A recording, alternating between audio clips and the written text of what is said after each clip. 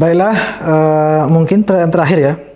Juga ini sudah masuk dari saudara atau saudari ya, Bunda Aisyah dari Mamban. Oke. Okay. Apa pertanyaannya Ibunda Aisyah? Assalamualaikum Waalaikumsalam warahmatullahi wabarakatuh. Pak Ustaz, saya mau bertanya apa perbedaan ikhlas dan ridho Kemudian apakah memiliki makna yang sama? Terima kasih. Assalamualaikum warahmatullahi wabarakatuh. Waalaikumsalam warahmatullahi wabarakatuh. Terima kasih sudah mengirim pertanyaannya uh, kepada kami lewat WhatsApp. Ridha dan ikhlas atau ikhlas dan ridha.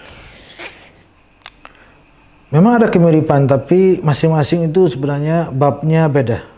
Kalau ikhlas itu bab dalam ibadah itu kita beribadah bukan di, agar, untuk dipuji orang, tapi semata-mata untuk diri agar diridhai oleh Allah.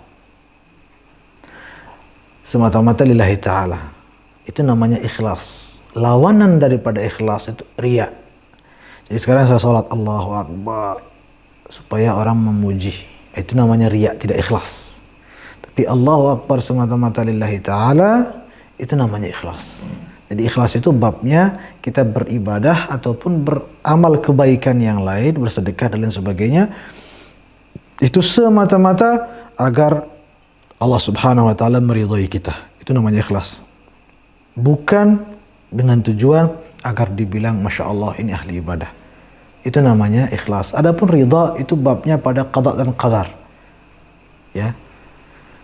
Uh, jadi kita mengalami musibah, atau mengalami masalah yang berat atau mungkin ada barang kita yang kecurian atau penyakit yang menimpa kita kita ridho ridho di sini artinya kita tidak protes atau keberatan dengan ketetapan Allah yang sudah menetapkan bahwa kita sakit saat ini misalnya itu namanya ridho jadi kita sakit ya udah kita jalani kita berobat dan terus memohon ampun kepada Allah memohon penyembuhan dari Allah itu namanya ridha.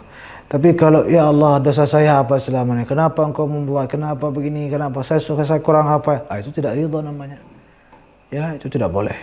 Atau misalnya dia orang sudah berusaha, lalu gagal, stres dia, gila dia, semua dihancurin, sia-sia.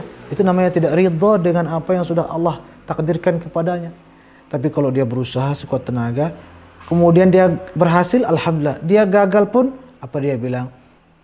ya apa yang diinginkan Allah itulah yang terjadi dan apa yang diinginkan Allah itulah yang lebih baik dari apa yang kita apa yang kita inginkan pasti ada hikmahnya nah, kan seperti itu itu namanya ridho tapi kalau sudah sampai ah insya Allah sampai masuk ke selak alas sampai semua orang disumpah senak nah itu sudah bukan ridho ya mudah-mudahan Allah subhanahu wa taala menjadikan kita semua hamba-hambanya yang ikhlas dalam beramal kebaikan dan juga uh, meridai ya ridha dengan apa pun yang ditetapkan ditakdirkan dan diberikan oleh Allah Subhanahu wa taala kepada kita semua. Amin amin ya Allah ya rabbal alamin